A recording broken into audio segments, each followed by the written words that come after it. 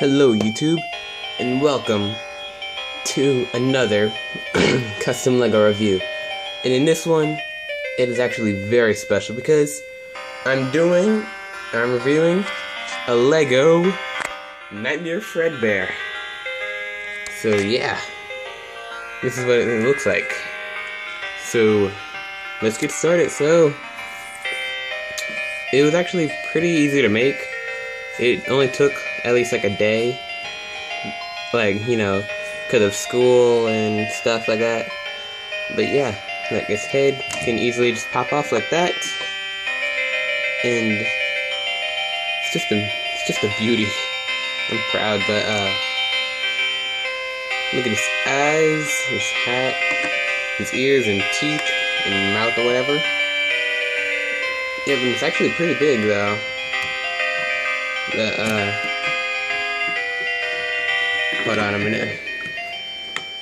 Almost screwed it up there. But here's the body. Like here's here's the legs and I have the vent pieces on it to look torn up. Here's the hand with more vent pieces and stuff. Then the body has the bow and it also has the teeth in the bottom. And hold on, I can't really stand it up, but still.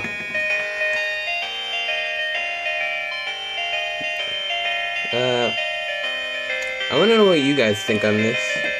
Like, do you think it's cool? Do you think it's good? Do you think it's okay? Or do you just think it's bad? Hopefully not, though, but yeah. What are your thoughts on it? And it has ball joints and stuff on it. All that stuff. I want to know you guys' thoughts on Nightmare Fredbear.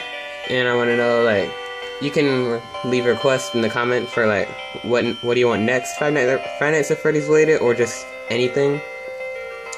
But uh yeah. This is a Lego Nightmare Fredbear. One of the first or I don't know. There's some on the internet. But yeah. Thank you guys for watching this video. So yeah, bye. See ya.